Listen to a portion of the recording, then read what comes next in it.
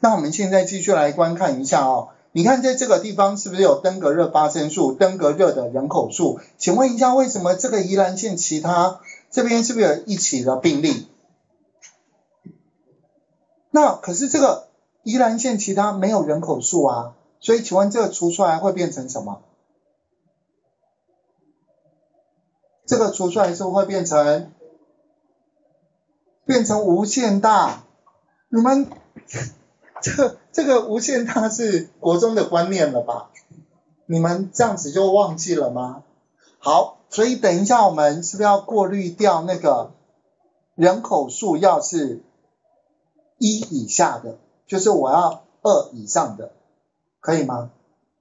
可以了，好，没有一以下的那个人口数的那个居住限制乡镇，那我们现在来看一下哦，为什么会有宜兰县其他？比较可能的原因是因为他只有填他住在宜兰县，但是他没有勾他的行政区，对不对？对。你们怎么了？第三天嘞，都不理我。好，我们接下来继续来观看一下，在这个地方，在这个地方，我们要算那个发生率，每十万人口发生率，那是不是就这个被人口数来校正，被人口数来除，然后再刮胡乘以十万？好，这就是每十万人口登革热发生率。所以怎么算？滑出右键是不是用新增量值？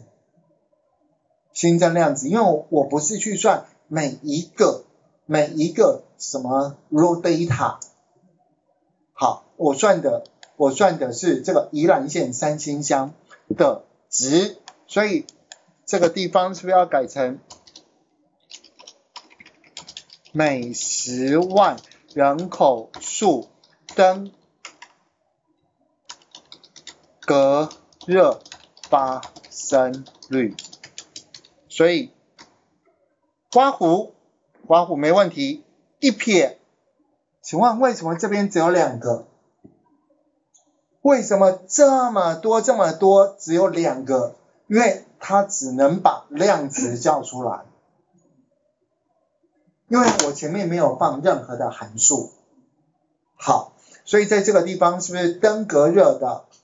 什么发生登革热发病数除一撇登革热那个这个居住乡居住县是二乡镇人口数二，然后又刮胡刮胡要对称对不对？刮胡要对称乘十万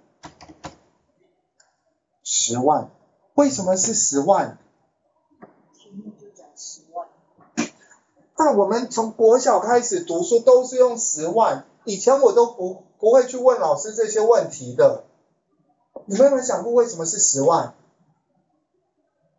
因为我们台湾的人口数，我现在是不是下下降一阶是用行政区？所以了不起，台北市各行政区也就几十万嘛，对不对？可是可是有些乡有些镇，像嘉义市好了，什么时代？